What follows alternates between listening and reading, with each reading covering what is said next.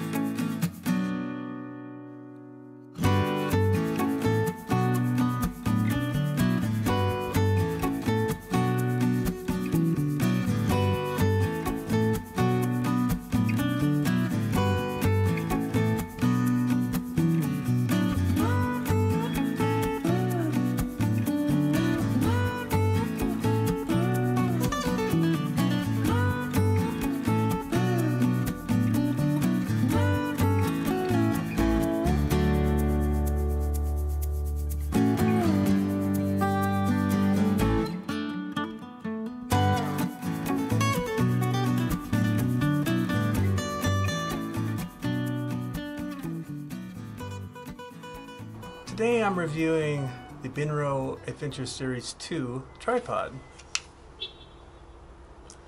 Let me first start by saying I purchased this tripod with my own money and I'm not being paid to do this review. yeah, my, my channel's big enough for me to uh, be sponsored by somebody. Now with that out of the way, let's talk about how I've been getting on with this tripod for the last few months. When researching tripods, I had a pretty short list. It had to be tall enough to use without the center stand be extended. It had to have quick flip locks for the legs. It needed to be light enough to carry out in the field. It, it wasn't like ultralight, but I, I wanted something that was light enough uh, to be practical. Something lighter than my old Bogen tripod, which pretty much anything would fit that bill. I wanted a pan-tilt head that was Arca Swiss compatible.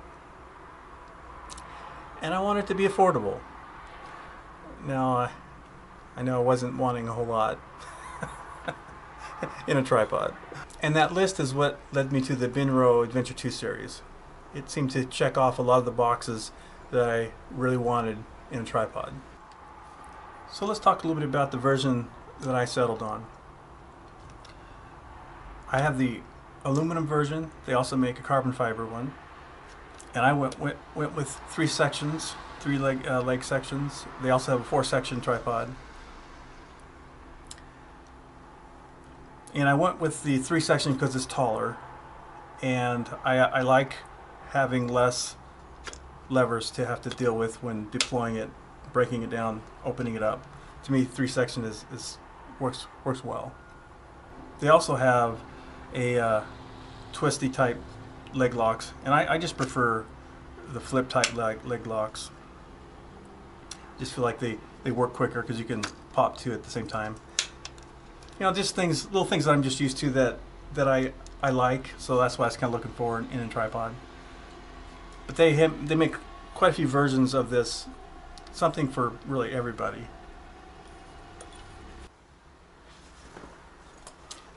The tripod comes with a pretty nice padded case. Some tools. And a couple different uh, leg ends. This has a rubber and then metal spikes. And I, I go with the metal spikes because I'm usually out in the woods. And it also has a strap for the carrying the tripod if you want to hook a strap to it. But you know, that, that's pretty nice. It's not something that I carry around or really use, but you know, someone might find some value in that. I've used this tripod with my medium format cameras and I've also used it with my digital SLRs. I don't plan on using it for long lenses. I think the legs are rated at about 26 pounds and the the pan tilt head that I, I picked is only um, rated for like 18 pounds. Works well for my landscape stuff, but um, I don't think this would be a great setup for wildlife or anything like that. But for landscape, um, this seems to be working pretty good. So after a few months living with the uh, tripod, I think I can talk about the good and the bad. Of the Benro Adventure Series 2 tripod. So let's start with the good. It's fairly light. The, the tripod weighs just a little over five pounds.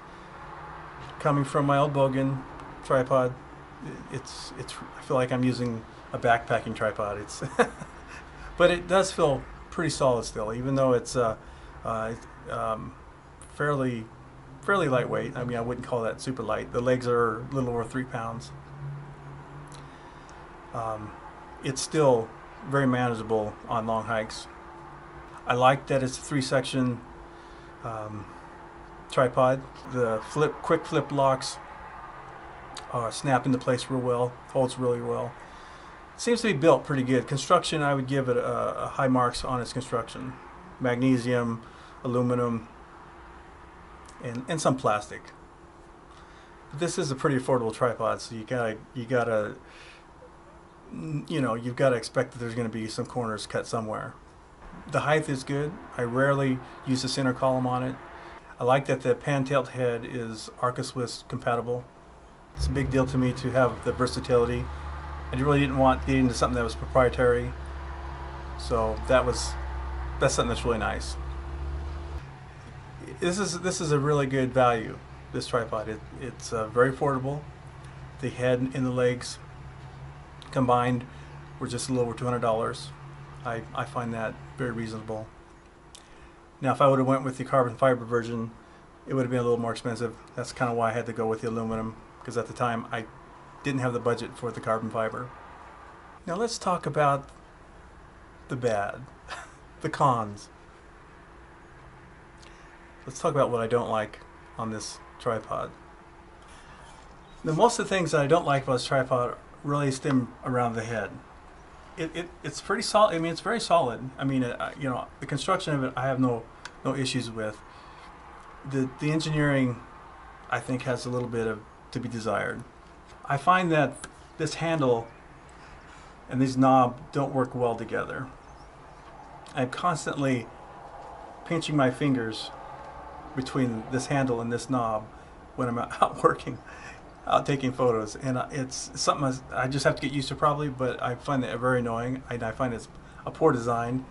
It just I'm constantly getting my my fingers caught in there when I'm uh, trying to level my horizon. I also find that it's it's tough. You have to really crank down pretty hard to get it to uh, lock into place solidly. I wish I wish it was a little easier to get a good lock. Now it could be that I just didn't order a heavy enough head for my my setup, but this is rated for 18 pounds, and I do find it. I'm really having to, to really turn it pretty hard to get it to, to lock into place. My next dislike of this tripod is the levels, the the bubble level. They're worthless. They they're the problem is they use such a small bubble in the level that it for one it's very hard to see in low light uh, any light actually. And it's very slow to respond so it takes forever to get it centered. And I, I think that's because it's just such a small bubble.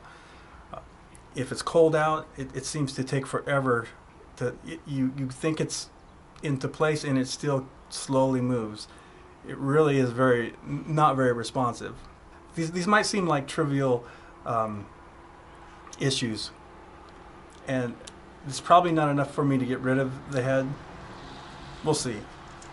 I, I'm I'm still trying to see if uh, it's it's gonna work for me. I may just have to get something different. Maybe I'll go with a, a ball head. I, I really like the pan tilt heads usually.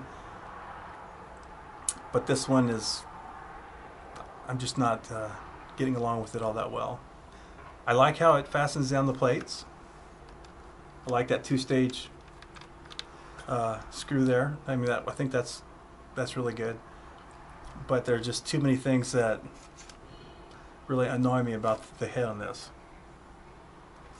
But for the money, it's you know, it's still a good tripod. I just may have to. I, I really think the legs are excellent. I think the, the uh, craftsmanship, the build of the tripod is, is good. I just don't know about the head.